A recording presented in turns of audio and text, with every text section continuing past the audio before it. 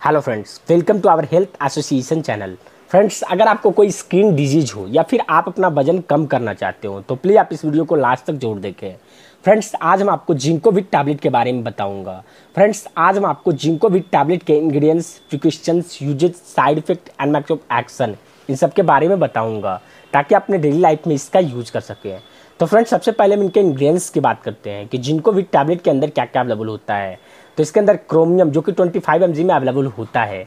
इसके साथ साथ इसके अंदर कार्बोहाइड्रेट जो कि 0.2 पॉइंट में अवेलेबल होता है। इसके अलावा इसके अंदर जिंक, जो कि 22 टू में अवेलेबल होता है।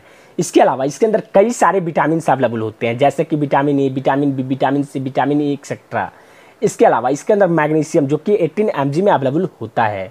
नाउ फ्रेंड्स हम इसके यूजेस की बात करते हैं कि जिनको भी टैबलेट को हम किस किस पर्पस में यूज़ कर सकते हैं। तो फ्रेंड्स अगर आपके बॉडी में बायोटीन की कमी हो तो आप इसका यूज़ कर सकते हैं। या फिर आपको एड्स हो तो आप उसमें भी इसका यूज़ कर सकते हैं। इसके अलावा, अगर आपके बॉडी में विटामिन ए की कमी हो तो आप उसमें भी इसका यूज़ कर सकते हैं। या फिर अगर आपको कोई स्किन इन्फेक्शन हो तो आप उसमें भी इसे ले सकते हैं। इसके साथ साथ आप अपना वज़न कम करना चाहते हो तो आप उसमें भी इसका यूज़ कर सकते हो। नाउ फ्रेंड्स इसके मैक्स ऑफ़ एक्शन की बात करते हैं कि जिनको भी टैबलेट हमारी बॉडी में काम कैसे करता है तो हमारे बॉडी में कार्बोहाइड्रेट मेटाबॉलिज्म के ग्रोथ को हमेशा नॉर्मल बनाए रखता है। इसके साथ साथ ये हमारी बॉडी में विटामिन बी ट्वेल्व की कमी को पूरा करने के लिए ट्रीट करता है। नाउ फ्रेंड्स इसके साइड इफेक्ट्स की बात करते हैं, जो कि जानना बहुत ही ज़रूरी है कि अगर आप जिनको भी टैबलेट का यूज़ करते हो तो आपको एलर्जिक रिएक्शन हो सकता है या फिर आपको ज्वाइंट पेन हो सकता है, इसके साथ साथ आपको मसल्स पेन हो सकता है, या फिर आपको बहुत ज़्यादा वॉमिटिंग हो सकता है, इसके अलावा आपको नौसिया हो सकता है। फ्रेंड्स अगर आपको ऐसा कोई भी सिम्टम्स दिखे तो आपने नज़दीकी डॉक्टर या फार्मासिस्ट से जाकर कंसल्ट ज़रूर करें। नाउ फ्रेंड्स हम इसके प्रिकॉशंस की बात करते हैं कि अगर आप जिनको भी टैबलेट का यूज़ करते हैं तो आपको कुछ बातें हमेशा ध्यान में रखनी चाहिए।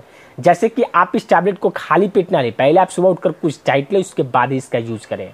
इसके अलावा आप अल्कोहल को अवॉइड करें। आपको हमेशा ध्यान में रखना है कि अल्कोहल को बिल्कुल भी ना लें। इसके साथ साथ अगर आप प्रेग्नेंट हैं या फिर ब्रेस्ट फीडिंग हो तो प्लीज़ आप अपने डॉक्टर या फार्मासिस्ट से जाकर सलाह लें, उसके बाद ही इसका यूज़ करें। इसके अलावा अगर आप इस मेडिसिन के इंग्रेडिएंट्स से एलर्जिक हैं तो प्लीज़ आप इस टैबलेट को बिल्कुल भी यूज़ ना करें। ये आपके बॉडी के लिए हार्मफुल हो सकता है।